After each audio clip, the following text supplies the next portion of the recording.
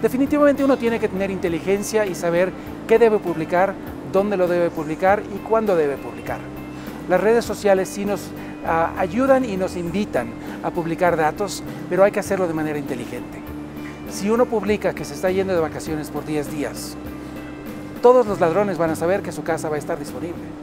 Si uno publica que está en un restaurante, es una ventana de dos horas y media, que su casa está totalmente vacía.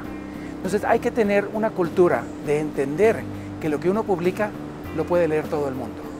Si lo hacemos de esa manera, definitivamente podemos protegernos y hay que acordarnos que una vez publicado es imposible despublicar.